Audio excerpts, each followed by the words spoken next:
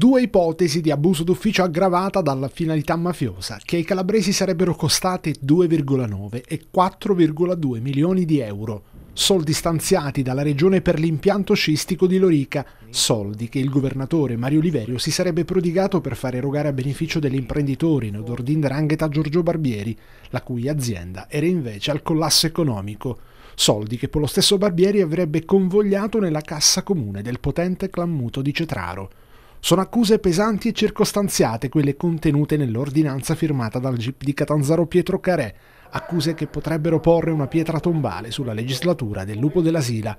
Oliverio, secondo l'accusa, avrebbe agito in particolare con il concorso dello stesso Barbieri e del direttore dei lavori Francesco Tucci per un mero tornaconto politico, vale a dire, si legge nel capo di imputazione, per ripagare Tucci e Barbieri che ne avevano assecondato gli interessi a Cosenza. I due, secondo l'accusa, avrebbero dato rassicurazioni ad Oliverio e poi si sarebbero fattivamente adoperati per rallentare strumentalmente i lavori pubblici su Piazza Bilotti e per pregiudicare così sul piano politico elettorale il sindaco di Cosenza uscente, Mario Chiuto. In realtà, emerge dalle carte dell'inchiesta, anche Occhiuto, non indagato, ad un certo punto chiese di rallentare i lavori, ma per una finalità opposta e per certi versi anche analoga. Tra un mandato e l'altro temeva che Piazza Bilotti potesse essere inaugurata dal commissario prefettizio.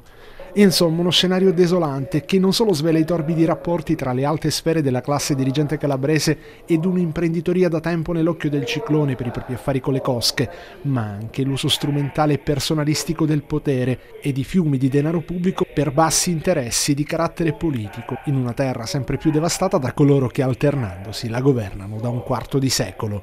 Pietro Comito per la Cinus 24.